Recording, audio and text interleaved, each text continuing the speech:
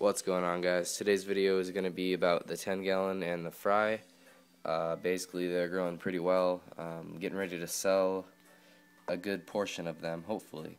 Um, if I can actually get them out of the tank, which is going to be quite a challenge.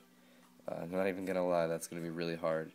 I'll probably end up having to take everything out, which, yeah, that's probably what's going to happen. Because there's no way I'm going to be able to get these guys out of here without having to bring all the shells with me, so... Um, we'll see what happens with that though. Uh, but here's the female right there, and then you got some of the smaller fry behind her. Another small little guy right there. And then you got some of the bigger ones. That guy right there is the biggest and best looking one in here. Uh, so you can kind of get a good idea of what they look like. I'll try and get a better look, but yeah, that's the the top fry in here, I guess you could say. Um, a, a, few others are um, also pretty big. That one is like super dark because it spends all its time in the back there where uh, the rocks are dark. So all the the fry back there are darker than the ones up here, which is pretty cool, I think. Um, kind of like an evolutionary strategy, how you can't see them from above with a darker background. Like this one, that one is super dark. Almost black. It's crazy compared to like this guy who's bright white.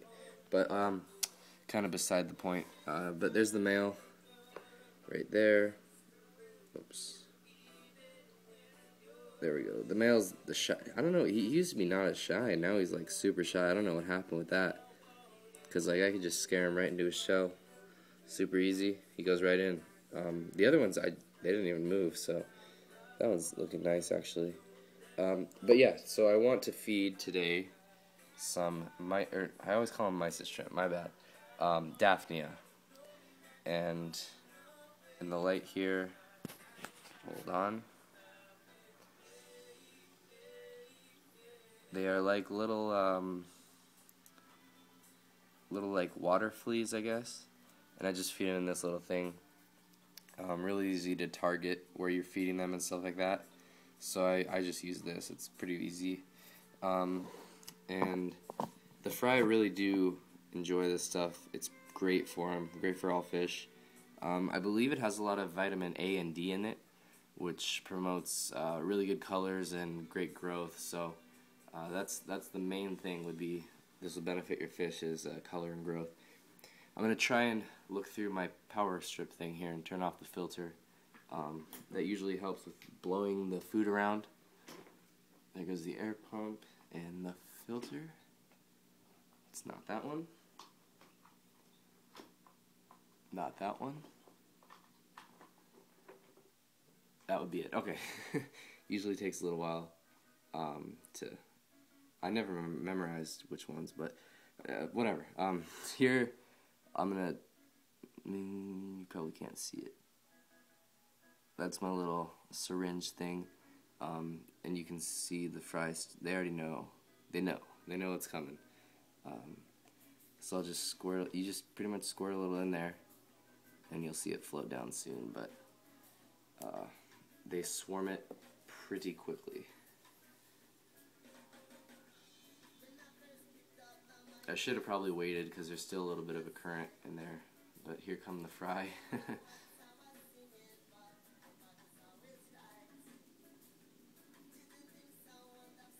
they really do love this stuff.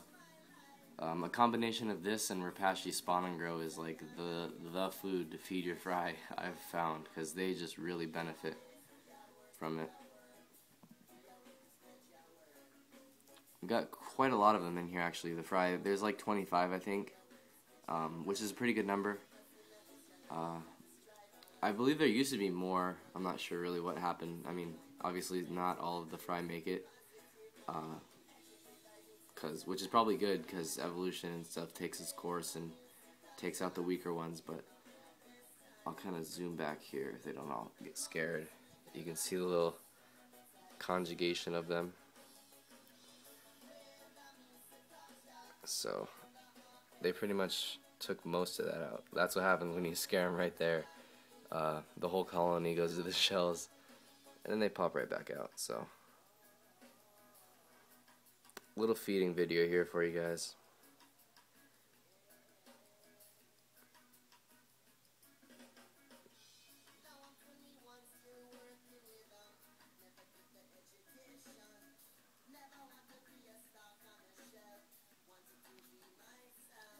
And I'll put a little bit more and then end this video.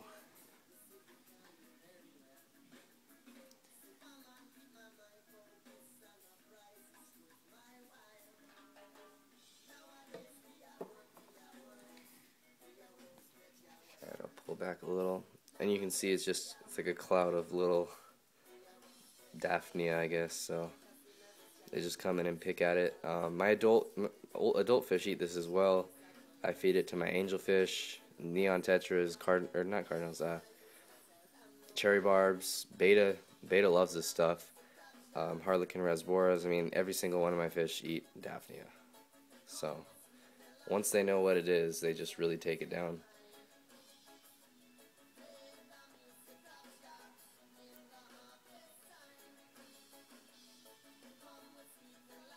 So yeah, that's uh that's about as long as I'll make this video. Um, thanks for watching, guys.